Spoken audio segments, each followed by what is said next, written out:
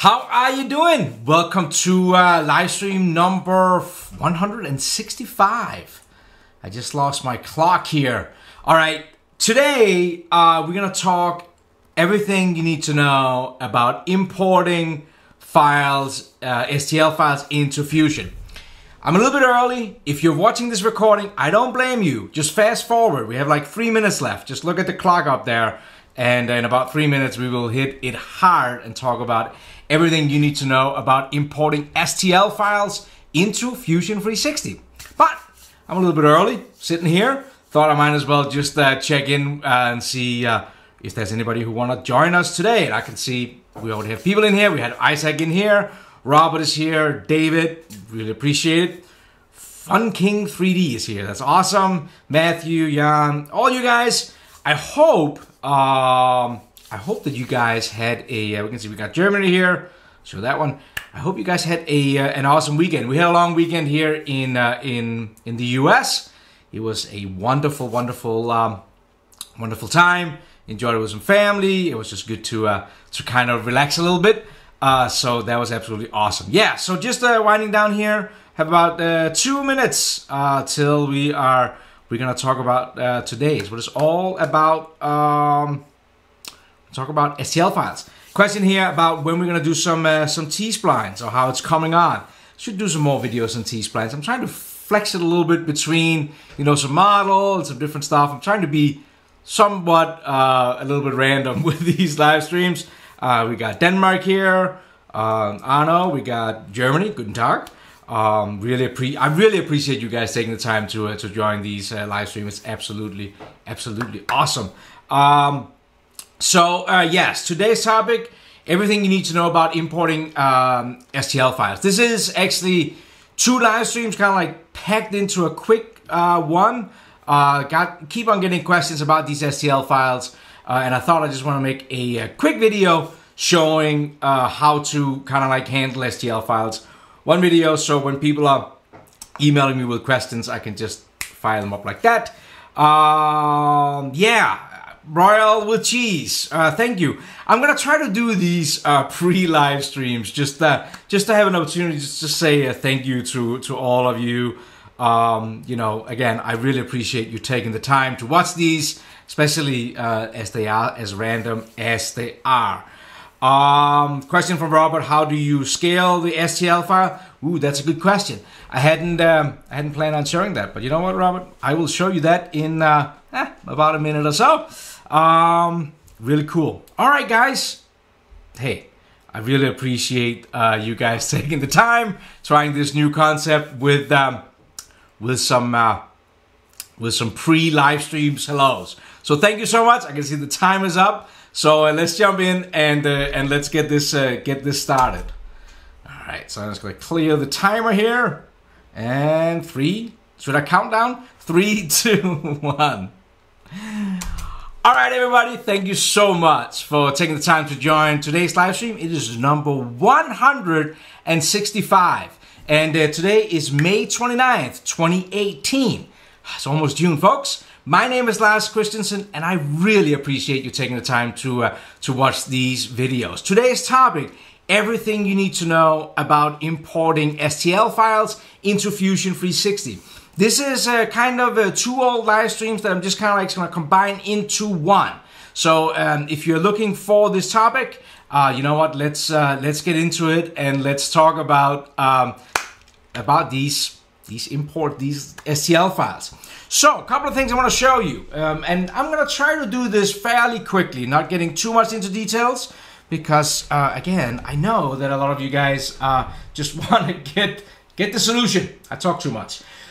STL files. So you're normally used to over in your data panel over here to um, to kind of import them import them in.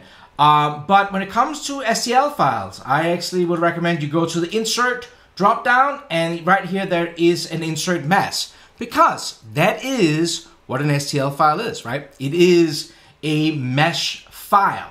Uh, click on that. We're going to open up two different uh, STL files today and it's important that you stay patient and watch both of them.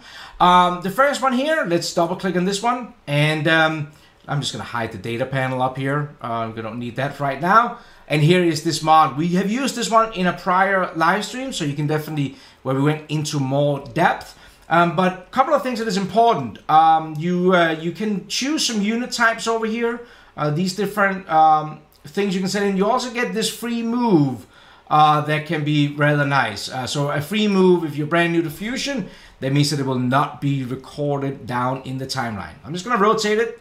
So our top here kind of resembles with the top of this, I think it's a table. I'm not 100% sure. Uh, hit OK to that. And uh, what we now have is what we will call an STL mesh file. You will see down here in the bottom, we have a little uh, mesh icon. If you go over and click on the bodies folder, you will also see that it says here it is a mesh body. So let me just talk quickly about STL files. And I've gotten some heat in the past, and that's probably justified, uh, in regards to STL files. I do not hate STL files. I do not. But STL files is just triangular, flat triangular shapes. Um, and many times when you get an STL file, you have not have had control about how this tight, this triangular mesh was created. What means that if we look at this file here, and if we go to look at the left side, and we zoom in, if we zoom in really, really close, you will notice that this hole is not round.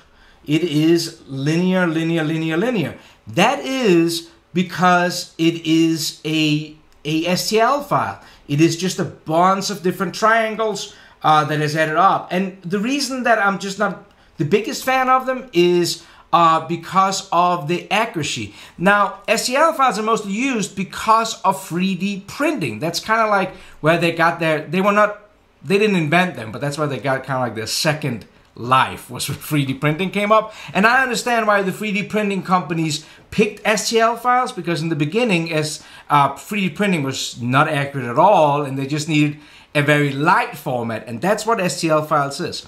What we like to do inside of Fusion, normally, the end goal is to turn it into a solid. Uh, because most 3D printers will accept um, an STL file directly, so you don't even have to go through a CAD-CAM software. If you download it from a cool website like Thingiverse, uh, then you can just stuff it right into to your printer.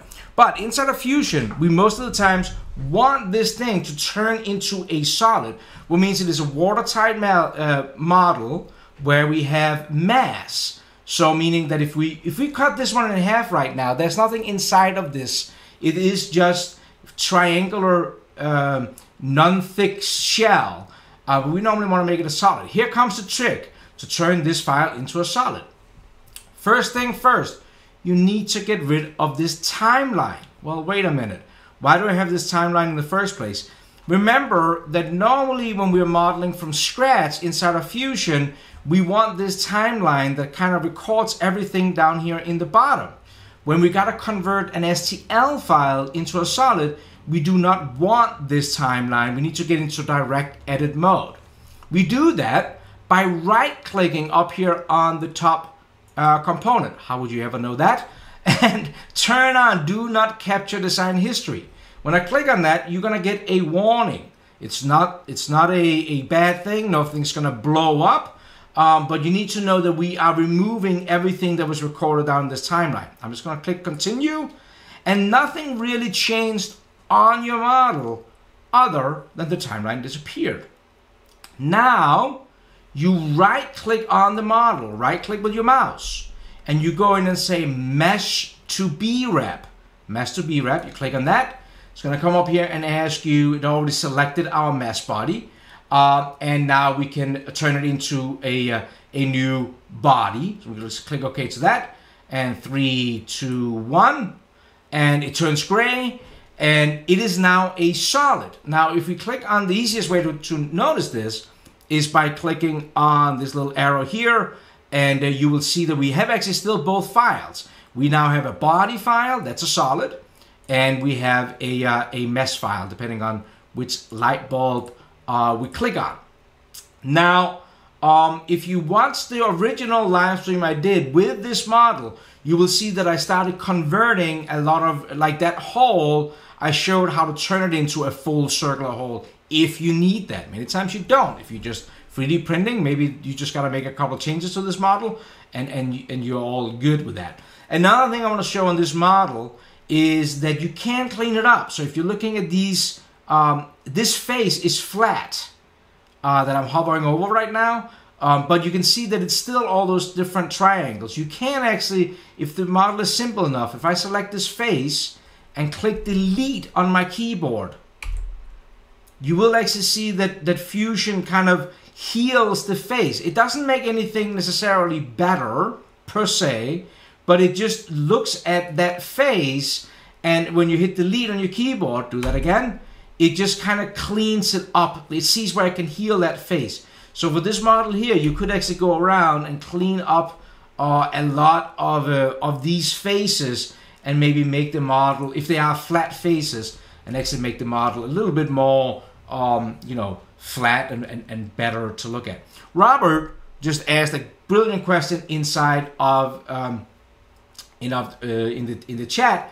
Um, how do you scale it? Well, I would normally turn my my STL file into a solid, and then I would literally just go down and use uh, the scale uh, menu under modify, select the body, and uh, you can now make it twice as big if you want to um, and it will be be scaled up um, twice as big. So that was a good that was a good question.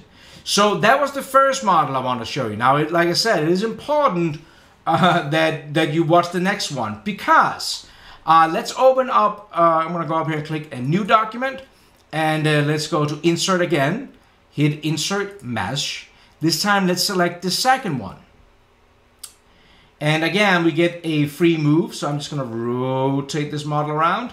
On uh, Thingiverse, uh, this is Mount Rushmore with Benjamin Franklin. Well, I am maybe not American, but I know enough about my history that that is definitely not uh, Benjamin Franklin we had over on uh, on the right here. One of my favorite. Should read if you want to want to read a great book, read his autobiography. Uh, so a couple of things I want to show you with this one. First, um, let's follow the same steps we did before. Um, repetition is key in all learning. Uh, so we have imported this mesh file with the insert mesh uh, box up here. Next thing we had to do was we had to get rid of uh, the toolbar down here. Again, we're going to do that by right clicking up on the top component, say do not capture design history. We are going to get a warning. We're okay. We're not afraid of anything. Uh, and we are now in um, in the same mode as before in the direct editing mode. Now we're gonna right click and we're gonna say mesh to brep and we're gonna say okay to convert this into a brep and we get a warning. This mesh contains a large number of facets. That means triangles. Actually, it counts 66,386 uh, facets or triangle flat faces conversion has been aborted. Boohoo. That, um, that was not what we wanted. But the truth of the matter is that um, turning something from a mesh, from a, a, STL file, into a solid does take some computer power um, and is not the easiest calculation in the world. So CAD companies normally set a, a loft of how big a mesh uh, you can actually bring in before the software is gonna kind of like get uh, down on its knees. So let's just look at this model here. Now, I know that right now I cannot convert it over. There is too many of uh, these triangles. And if we zoom in a little bit, I mean, look at the amount of details here um, on, on, on these um, models here um, just to, to look at, at, at, some of the details, right? It's, it's very fine with all these triangles. Um, one thing we could do was we could use uh, the mesh tools. Now, another thing you need to know, the mesh tools in the drop-down are only available when you have an STL file on the screen. Okay? So, if you don't have an STL file on the screen, you will never see uh, this uh, mesh uh, icon with an, a, a mesh file on the screen. You can see it. Now, if I click on it right now, I actually get another warning. Enable the mesh workspace preview in the preferences. And what this means is that the mesh toolbar is still in preview um, or in beta, you could say, here uh, inside of Fusion 360.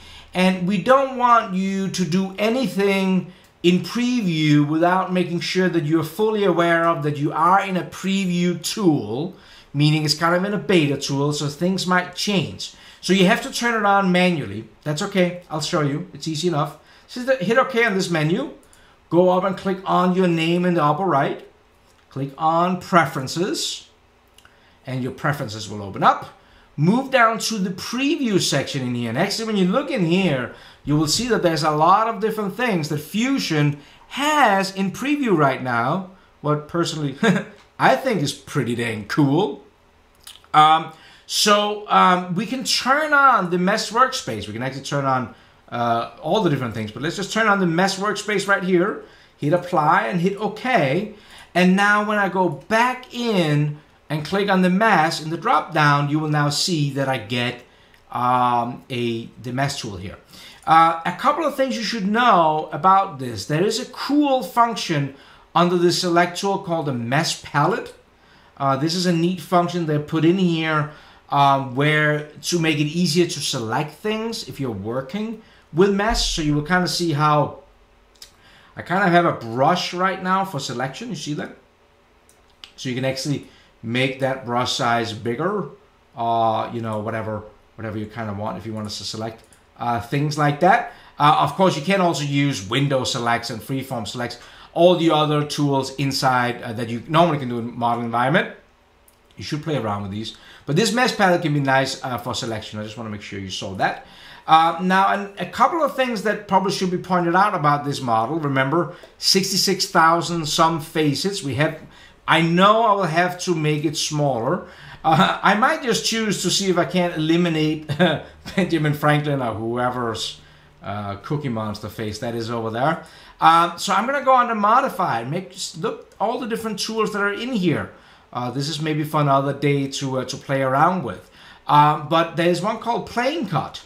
So if I go over here and I select our mesh file and I click on flip direction, you will actually see that I can use the arrows to kind of trim uh, this model here. Let's go in on the front view and kind of go to the side here. I can even kind of like rotate a little bit if I want to get a little bit closer to um, there, right? So now it's a little bit, little bit closer. Um, and it will actually, when I spin it around here, it will actually, oh, I didn't heal it. I'll just undo that again. I should have checked heal. Plane cut. I select the model. And then you can you can turn on here. I wanna I want it to fill uh, that face. I want to make sure that it's filled because I'm going to try to turn it into a solid at the end. So I want to turn it into a watertight model. Get a little bit closer to my friend Lincoln here. Boom, boom, boom. Something like that. Maybe close enough. Hit OK. And now you will see um, that it is um, it's sealed up here. So with this, we could say, all right, uh, so maybe we are a little bit closer now to a, a value that Fusion could turn this into a solid. And the way you would go back and check that is just literally going back into the model environment. Remember, you can jump between these different workspaces uh, without losing anything. And then we could right click on the model again and we can say mesh to BREP. You should actually click on it. Mesh to BREP and click new body. I get I lowered it down to 56,000 but the conversion has still been aborted. So it's still not good enough. That's okay. I'm not going to be too upset. Let's go back to the mesh workspace because in the modify dropdown, there's actually a reduce option in here. So if I click on reduce, and then I'm going to go in and select the window selection because I actually want to reduce the entire model here. That is fine for me. Um, and normally it will show up on reduce target as identity and it gives you a value. I normally like to change that in the drop down to face count because that's what we kind of like been talking about right now, like 66 down to 56,000.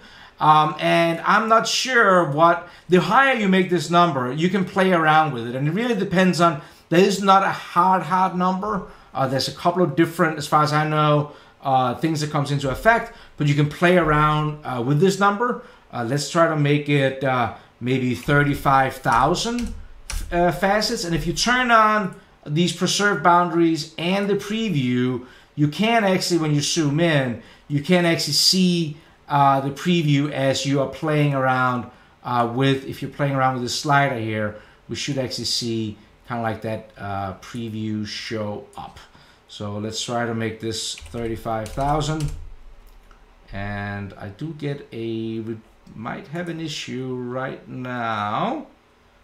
This is why I like these uh, these live streams. Turn the preview on, preserve boundaries, uh, and let's hit OK and see what it says. Click on that, and that's probably just gonna take a second to calculate. All right, I do think it did it. Um, when I'm looking over here, uh, on the mouth. It looks a little tighter. Let's see if it did it. So let's go into um, the model environment. Right click, go into mesh to B-rep, say OK to a new body. Oh, it didn't do it. All right. See that? It said it didn't do it. It might be because the way I cut it up here. I wonder. I'm not going to quit on this. Mesh. Go in and reduce. This is why I like to do live streams. Now you can see that I sometimes struggle too. Select everything. I like to change this to a face count. And so this boundary gives me an error. I'm going to try to turn that off. And just see here, 35,000. Yeah, see, it keeps on giving me, there's an error here. So I don't think it's going to do it. Okay. Let's try a face count of 25,000. Oh, we gotta select something. This is supposed to be a quick live stream. 25,000. Hit OK. So I think it's maybe something with the way I cut the model here. Um, you know what? Let's try this instead. I'm gonna board this. Let's open a new model. Let's go insert, insert mesh. Let me just check that. Rotate that around there, hit OK. Turn that off there. It might be better to try to see if we reduce it, if we do the reduction first and then cut this maybe afterwards. Try to reduce this. I'm to do the window selection of everything. Let's try to change this to a face count. No, still gives me the warning.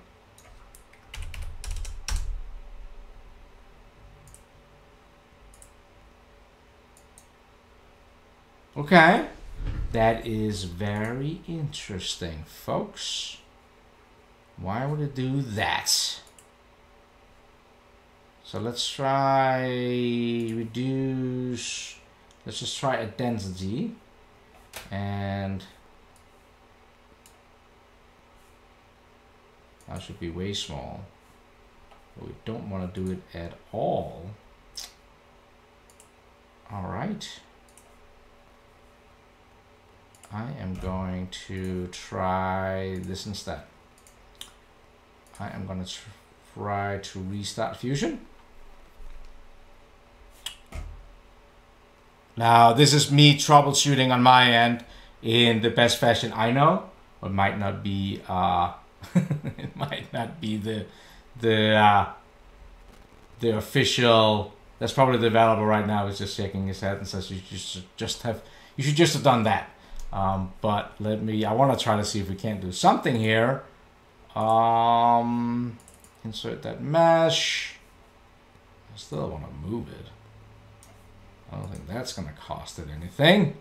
Uh, change into do not capture the sign. Let's go into the mesh toolbar. Let's try to reduce it. And the other problem could be with the selection here, I guess. If it doesn't select, it may not have selected everything through. Looks like it did that there. Face count. 35. Turn the preview on. Hit OK. Think for a second. Model environment. Right click. And then you will see that now it loaded down to to um, 35,000. So it missed two. So, okay, so now, so it might, maybe I needed to restart it after I turned on those mesh tools. That could be it. Um, but now it will, it will give you as a warning and say that we still have a very high count uh, here. Um, so we want to preserve the con conversion. And now I know that if I hit OK to this now, uh, it should absolutely uh, convert it. Um, but before I do that, I do don't want to leave uh, out what I did before with the plane cut. So I'm just going to do uh, this in uh, in the other direction because then somebody's going to say to me, "Hey, you skipped out on the cut." I think I maybe just had to maybe you just have to restart the mesh tool after you have turned it on. That would not surprise me. So now we're back to here. Let's try this again. Model, go to have it in here, right click, and uh, mesh to B-Rep. Let's see if it does it. We're down to 31,000 now. Um, conversion and hit OK. And uh, then we should just wait a second. And uh, that should now turn into a uh, into a solid. That's at least uh, what I am hoping. It might just take a few minutes uh, because again, that there is a lot of calculations going in the background. And it's absolutely important to know uh, that when you're working, and you can see like the kind of bars working down the bottom, that when you're doing this, turning something from an STL file into a solid, that you are doing a lot of calculation in the background. So in this case here, uh, it did turn it into a solid. We can see that again if we hit the little drop down here. We now have a solid body. Now again, it is triangular. It means that every single triangle is kind of flat. It's a flat surface. But this is now a, um, a fully uh, solid uh, body like that. Whew, I'm glad that we got that figured out, huh? So I think that to take away from uh, to take away from this live stream today, this Monday, on everything you need to know about importing solids, one of the important things, or importing STL files, one of the important things is you probably need to restart after you turn on the, the mesh uh, workspace to get things to, to work in there. But I hope some good tips um, to bring it in through the mesh, insert mesh tool instead of through your data panel. Uh, turn on the history tree, right click, convert um, into BREP if the STL file is too big, and this happens a lot, I know that for a lot of you guys, uh, then go into uh, the preview, turn on the mesh workspace, restart your machine, do that, and then you have a couple of options in there to work with, uh, with some of those things in there. That was what I was planning on showing today. I hope uh, that this was useful. Do me a favor, if you like this, uh, give the thumbs up. If you don't like this, uh, thumbs down, especially if you didn't like me struggling around. Hey, just uh, that's the that's the beauty of live streaming. I really appreciate uh, you taking the time to join these live streams. I'm to do what I normally do.